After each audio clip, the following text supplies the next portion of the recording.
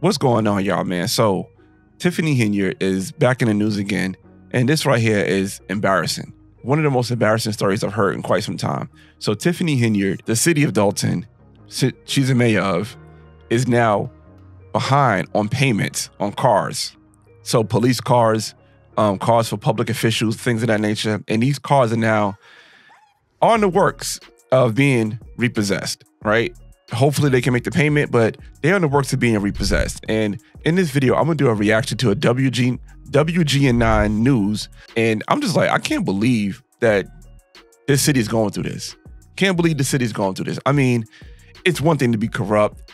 You're just doing what you got to do to, to, to fatten your pockets. You know, all politicians do dirt. But this right here is insane. This is insane. So let's get to this video right here coming out of Chicago, man. This is so disgusting. And as always, I'll leave links in the description so you guys can check these videos out in its entirety. Threat now. Tow trucks could be arriving soon to repossess some village vehicles. And WGN's Courtney Spinelli is joining us live from Dolton with the latest. Courtney?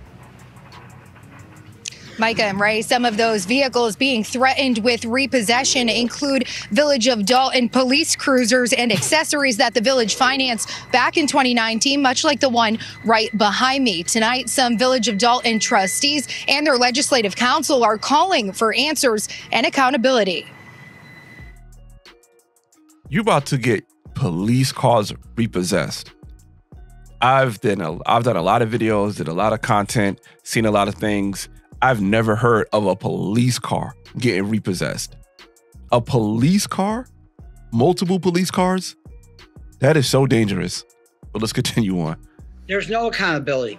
In yet another shock to Village of Dolton trustees, a letter falling on their desks dated February 14th. Representatives from Kansas State Bank threatening to repossess 13 village vehicles, saying more than $76,000 is overdue. Wow. Wow. 76 grand is overdue. the past due amount is $76,000. What are they doing with the money? And climbing. The Board of Trustees approved payment in May of 2023.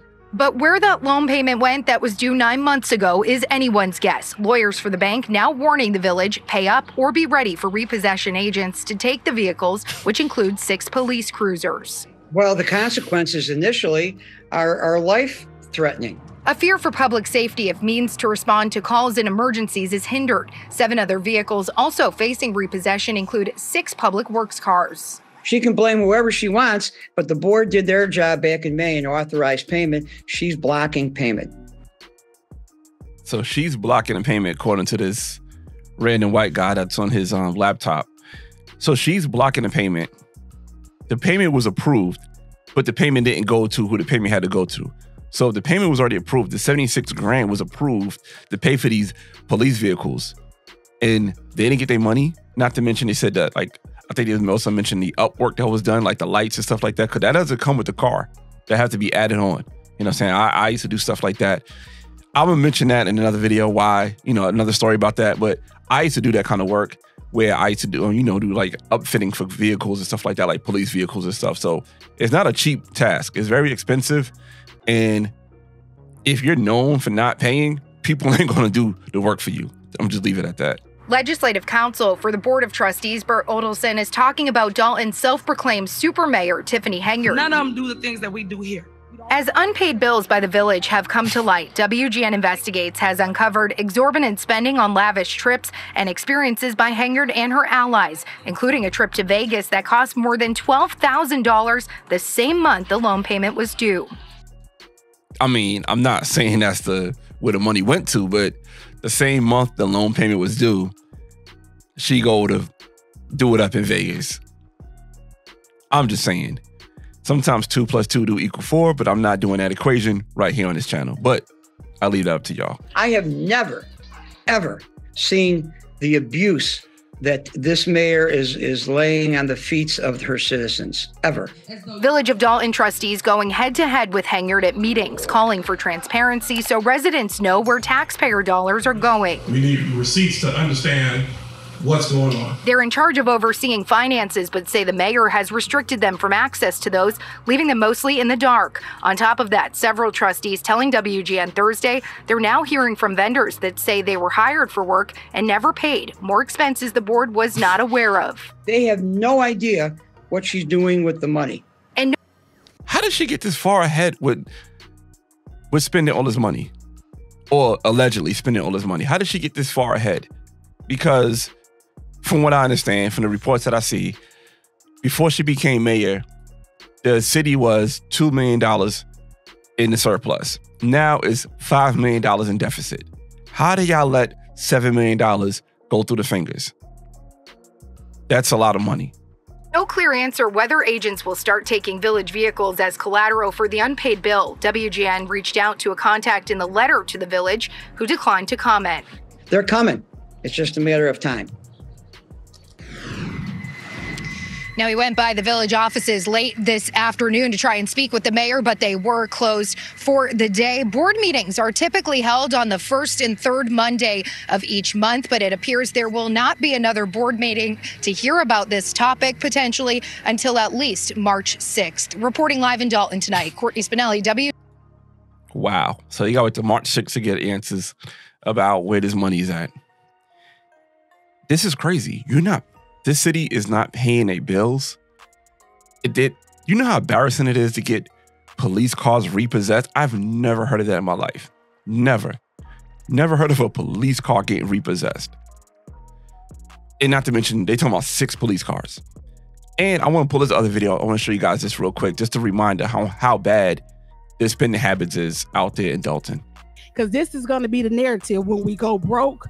You're going to say, I wasn't even on the bank account. The trustees did it. When at the end of the day, you're making decisions and spending money and then get mad when we don't approve it because it's not financially sound. I sat here and looked at a lease that paying $149,000 for one of them trucks. You make absolute, that's like when you 19 years old and you go get a car and the interest rate 27%. That makes absolutely no sense. You're Please not making facts. great finance. Excuse me. Please state facts. But let me tell you, here it is, dated December 27th, 2022, The ca- cash price of a 2023 Chevy Tahoe, $93,216.71. Interest and APR, $55,929.49. Total lease price, $149,146.20. Tell me if it's not facts because your signature is all on it. I don't see that. Okay, but you want to put you want me to pass? I don't. All right. I'll, I'll but at my the statement end, in a at the end of the finish. day, it's not about going back and forth with you. It's about making financial decisions that is in the benefit of everybody. So you see the crazy amount that she's paying for interest on the vehicle. Crazy amount of money she paying for interest on the vehicle that she signed off on. And the trustees don't know nothing about it.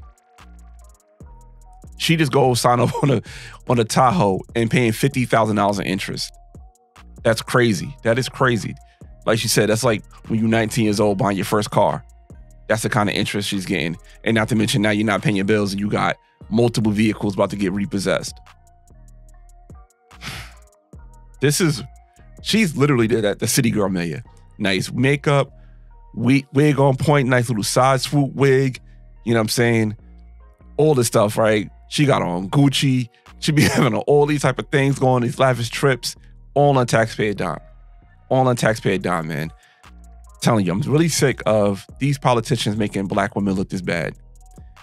It's it's too many of them. It's it's too many to count on these politicians, these elected officials that's making black women look bad. I am so over it. I ain't gonna lie. Not paying your bills, but you looking fly. Like that is the ultimate city girl move. Ultimate city girl move, man. But let me know how you guys feel about this in the comments, man. I I don't like I said, I'm I'm really tired of it. I'm really tired of it. I'm really sick of it. Is same thing, rinse and repeat, regular schedule programming. Let me do something to make myself look good. Let me do something to make myself look good. Makeup always on point, wigs always on point, wearing Gucci, got private security, got people driving around. You you you all these cars, flying first class to, to Vegas, and you about to get six police cars repossessed in an area where crime is already bad. Now you have six police cars taken off. Where you going to have three police officers in a car? You you have three police officers sitting in the front seat together, like it's a like it's a a U-Haul truck. That's this is crazy. This is crazy.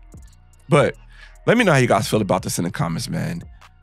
Meet you guys down there. Also, in the comments, I'll leave a link to my newsletter so I could directly contact you guys when I do live streams, giveaways, and when I post content. All right, man. Till next time, peace. Real rap Ron is signing off. All right, later. One. Also, if you guys like this kind of content, please consider hitting subscribe and check out this other video YouTube suggested. I didn't suggest it, YouTube did, and YouTube do not lie. All right, peace.